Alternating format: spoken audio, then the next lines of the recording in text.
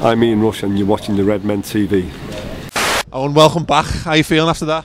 Um, just, I think like um, the, we we should get more out of the game because Ricky Lambert's not getting the credit he deserves because in the past few games he's been get he's like when he first come people like you, you, you like they're, they're going uh, Ricky Lambert is like shite and that but like I thought he was shite but in like the past few games, he's he's getting the ball. Like today, he got the ball and he headed it down to an area like the penalty spot, and no one's there. Yeah. No one's there to put the ball in the back of the net. Yeah.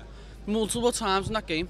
We need to give Ricky Lambert more support. Yeah, give him more, more support, and when you've got Balotelli back, you need to get like like stop slacking them off, give them support as well. Because yeah. everyone's like, oh Balotelli, oh he just stands there and fucking looks hard. But you've, you've got to think, he needs support to get the ball to his feet and he will score goals when Studder's just back, but different story about When, afterwards. when, yeah. Yeah, when, but in my eyes, I think he's not going to play for Liverpool ever again. Studder's just not going to play for Liverpool ever again. I'm not, cracked? I'm not saying he won't, but I, in my opinion, I don't think he will. I think, like, he's for, yeah, Suarez, oh, as far as went to Vasa, I'll get all the credit. Nah, fucking Sally comes 16 million pounds and he's getting all the names and like all the cameras on him. So there's fucking S, what was it fucking SAS last year and all that? Fucking Balotelli comes straight in, you know what I mean? He gets all the, like, the cameras on him and that's not right. Studridge, Studridge is better than Balotelli. Studridge is the creator of Liverpool Football Club now. That's Suarez has gone.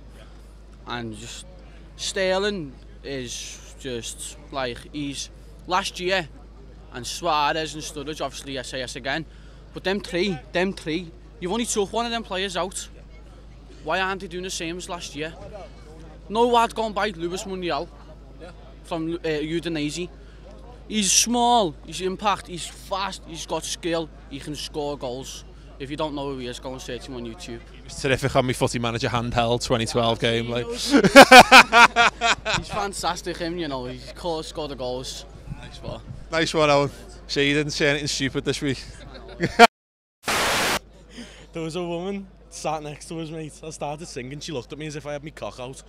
Really? That's... She, she, she was in a fucking football ground. Yeah, yeah.